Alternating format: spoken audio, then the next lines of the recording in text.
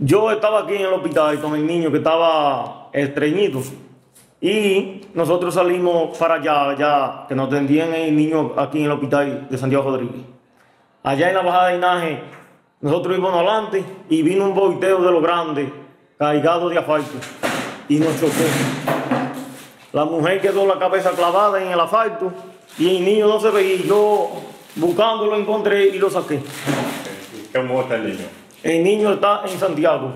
Está mal. Está, ma- está malito, tiene la cara quemada. ¿Eh? Y la, y la mujer también está desfigurada. Y, le, y un brazo también lo tiene ¿Y a ti qué te pasó? yo este pie y, a- y eso Quemado. quemado.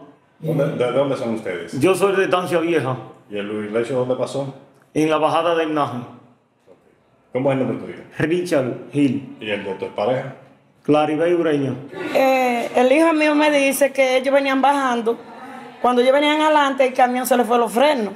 Entonces, cuando el camión se le fue los frenos, entonces el camión se fue de lado y ellos cayeron abajo. Él la sacó a ella de abajo del camión y caibando y caibando fue que pudo sacar el nietecito mío de 20 días de nacido.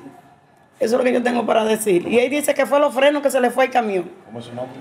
Eh, Gilla, ¿Dónde pasó esto? en el puente de Inaje, de aquí de, del río de Inaje.